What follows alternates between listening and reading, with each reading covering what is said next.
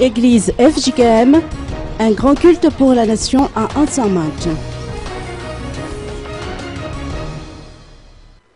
Le théâtre de verdure d'Ansamat a été noir de monde hier à l'occasion du grand culte organisé par le bureau central de la FJKM solliciter la bénédiction divine pour l'année de mission 2013 et pour le pasteur Lala Racinda ainsi que les membres de sa famille. Tel a été l'objet de cette messe.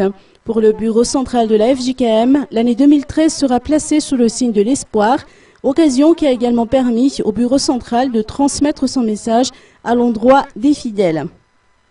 Dans son allocution, le pasteur Hubert Koutarvoun, conseiller au niveau du bureau central de la FJKM, a exhorté les fidèles à ne pas perdre espoir face aux épreuves multiples auxquelles la nation tout entière est actuellement soumise Propos réitérés par le président de la FJKM, Lala Resendas.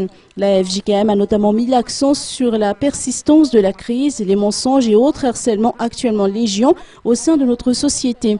L'annonce de la réouverture de la radio Fazavan, dont le dossier est en cours, si l'on en croit les dires des responsables du bureau central, a notamment suscité la ferveur au sein des représentants des 37 synodes régionaux qui se sont donné rendez-vous à Ansamanch hier. Le conseiller auprès du bureau central a également profité de ce culte pour noter que la maison ne s'adonne pas à la politique. Toutefois, la FJKM ne peut pas empêcher ses fidèles de le faire.